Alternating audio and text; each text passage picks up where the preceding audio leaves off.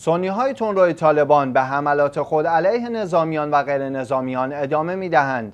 به گزارش شیعه ویوز به نقل از اسپوتنیک در همین راستا عناصر طالبان به روستای خواجه بهاءالدین در ولایت تخار حمله کردند. در این حمله علاوه بر شهادت 17 نفر چهار تن نیز مجروح شدند. محمد جواد هجری سخنگوی والی تخار گفت این حمله به قرارگاه ملک احمد تاتار یکی از فرماندهان نیروهای مدافع مردمی در ولسوالی خاج بهادین صورت گرفت. به گفته مقامهای محلی تخار، ملک احمد تاتار یکی از افراد مشهور در ولسوالی خاج بهادین است که برای مقابله با عناصر تروریستی تلاش می کند.